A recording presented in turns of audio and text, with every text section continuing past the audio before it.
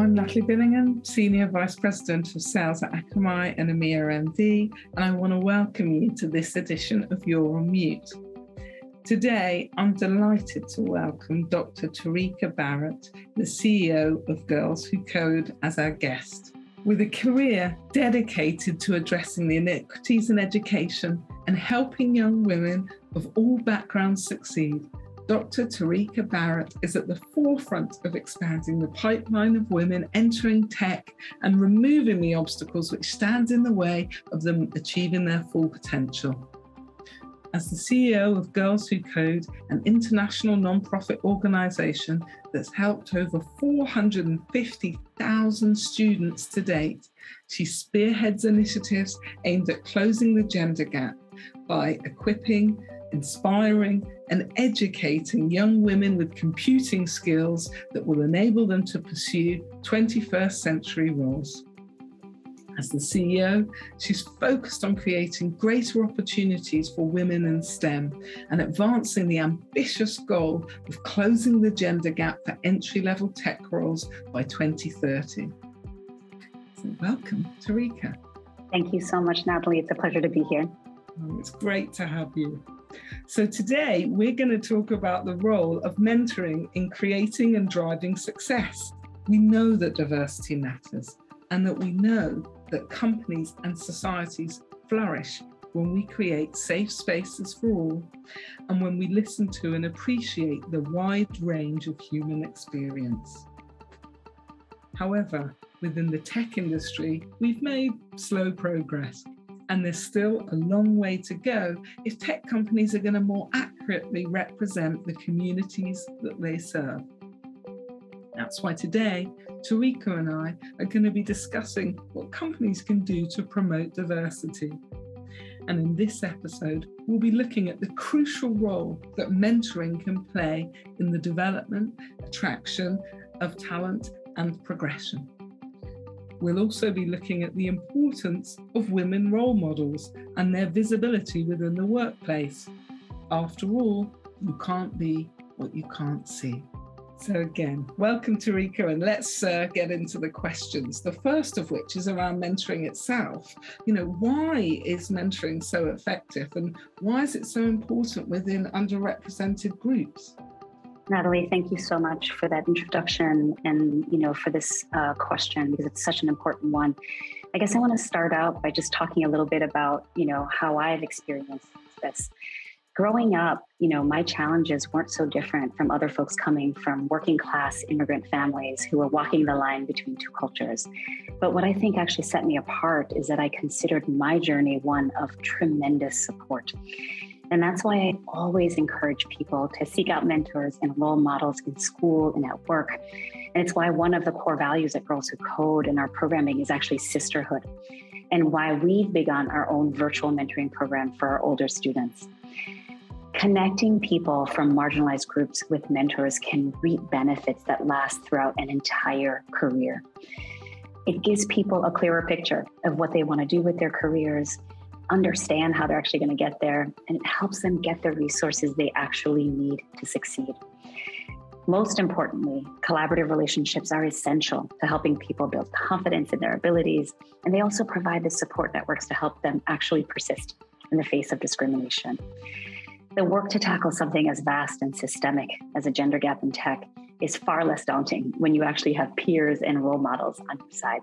I love that idea of, you know, us being a, a sort of support group for each other. And certainly it sounds like at Girls Who Code, you've got a proven way to do that. So, what advice do you have for companies who want to embrace uh, mentoring within their workforce?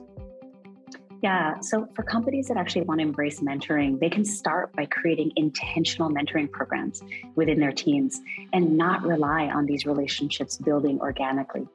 And this is especially important for entry level women in tech who are the most likely to fall out of the pipeline early in their careers. We did a recent study and confirmed that 50% of women end up leaving the tech industry before the age of 35. So these are mentoring programs that have to be built with trust and accountability in mind, allowing people to speak freely about the issues they face without fear of retribution and with constructive feedback to help them succeed. And when I add that that same study also confirmed that many women left the tech industry because they lacked female role models. We can't encourage young women to persist through the tech industry if the mentors they seek out, those with similar life experiences as them, don't exist in the higher ranks at tech companies. At Girls Who Code, we always say that you can't be what you can't see. And Natalie, you pointed that out. Companies need to look deeply at their own leadership and practices to create meaningful diversity across all levels of the workforce, from entry level to the C suite. That has to be the first step in creating mentorship opportunities that actually have a real impact on bettering the experience of marginalized groups in tech. And you know that that study that you referred to and that stat is really very sobering. You know, I think 50% of, of women there. And and we, you know, through the You're on Mute series have actually talked a lot about the role of women in the workplace and how the hybrid workplace uh, you know, potentially impacts women or provides opportunities in some cases. Uh, but in this case, uh, thinking about the virtual workplace and how this plays into that, you know, what tips do you have for people who want to undertake mentoring virtually? Because it's a slightly different world, isn't it? Yeah, you know, at Girls Who Code, we found that there are actually so many benefits to creating virtual mentorship programs and so many benefits to virtual programs in general. Having a virtual, flexible environment has allowed our mentoring programs to serve more people. It's allowed for our participants to grow their professional networks in bigger and better ways. But I understand that not everyone is as comfortable connecting virtually as they are in person, and that some of these important conversation topics can easily get left behind. And that's why we also recommend that people implement systems that work for their own needs. Icebreaker questions, a designated venting session, a clear agenda that's decided on beforehand. All of these are great tactics to make the process more organic. Everyone is different and everyone has different needs when it comes to mentoring. However, we know that virtual meetings aren't going anywhere. So it's still important for people to create strategies that make them work for themselves. When we decided to look at virtual programs as an opportunity rather than a hindrance to our work, it opened up so many new doors of possibilities. And I think looking for the opportunity is so critical. And so I really appreciate the, the sort of way that you've approached that, both for companies that can take this opportunity through mentoring and for individuals on how they manage it through some really nice, tangible tips that they can utilize in their own day to day.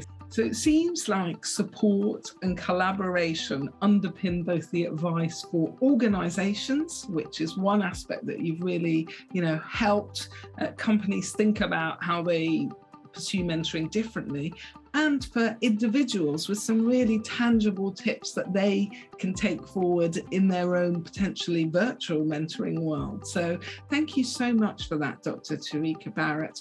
Really appreciate your time today. Thank you so much, Natalie. A pleasure and appreciate the time of everyone who's listened. So, as always, with You're on Mute, if you have enjoyed uh, what you've watched today, please do feel free to like or share. And thank you so much for joining us.